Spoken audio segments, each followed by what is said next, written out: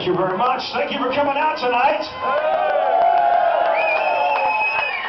All right, um, first off, uh, you may have noticed that uh, Mike back there on the drums uh, is playing with one hand.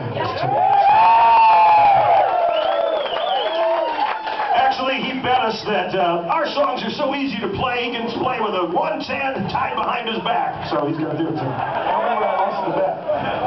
Actually, uh, last night he broke his wrist. So, um, you know, we could have replaced him tonight, but we wanted the full band up here, and actually Mike can play his ass off even with one hand. So we got to give it to him tonight. Thanks, Mike.